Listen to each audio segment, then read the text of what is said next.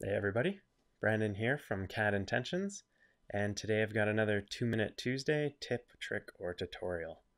Uh, today's video is a pre-recorded one. Uh, right now I'm probably uh, on my vacation doing a road trip down the west coast to California.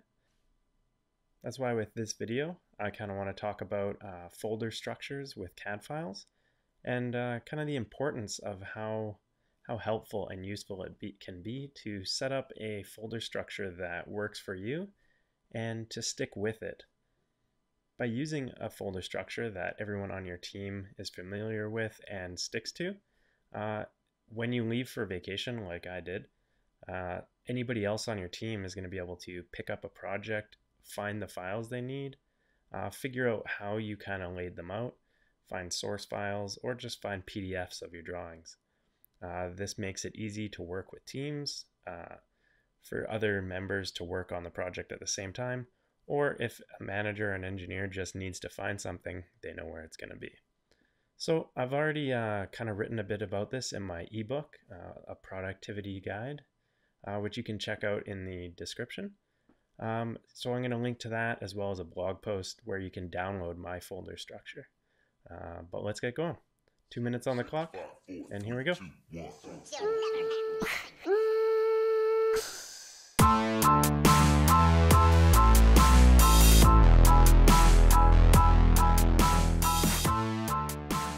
you can see here, I'm in a generic projects folder that I've set up. This would be where you keep all of your projects. Um, and in it, I've got my template saved.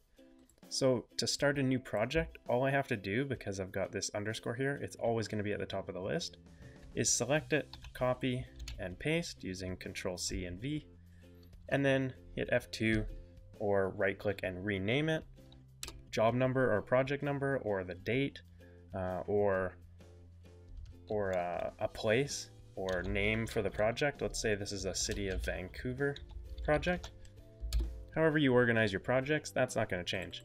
But what is, is all the folders that are going to come with it. Now I know most people are going to have kind of a default that they copy and paste. Uh, I'm just going to show you how I use mine and kind of a few folders to consider having. So I always have an output folder in my structure.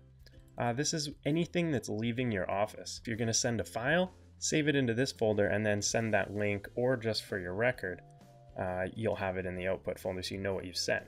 I always add the date year, month, day so that it organizes them in the correct order, and then a description of who it who it's going to and what it is.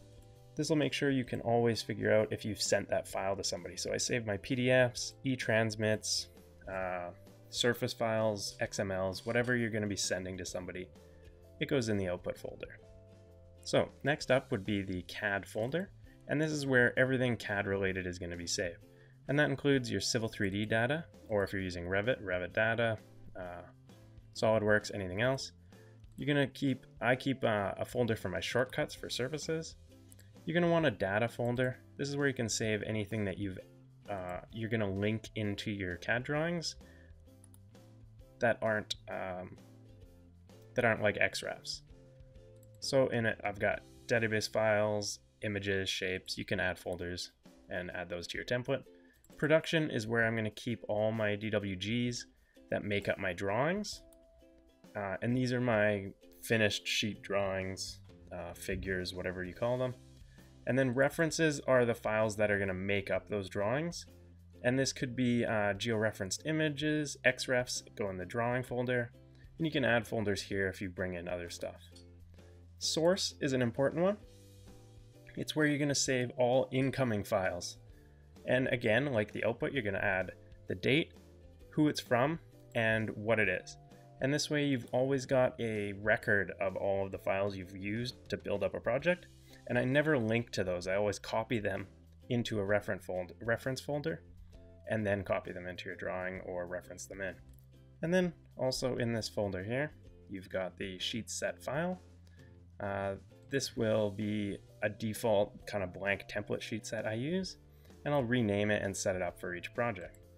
So there you can see a really quick overview of how I organize my file structure and how you can uh, to be better organized as well as make it easy for anybody to use your projects. Again, like I mentioned, I cover this along with a lot of other uh, helpful productivity tips in my ebook, which you can get in the description below on Amazon. And don't forget, if you've got any questions at all, uh, leave them in the comments below. I hope you enjoyed this and have a good one. Cheers. Thanks for watching the video. Hope you guys enjoyed it. Uh, be sure to check out my last video right here. Uh, and don't forget to subscribe up here. Make sure you're up to date and you see all my new videos. Thanks again. Cheers.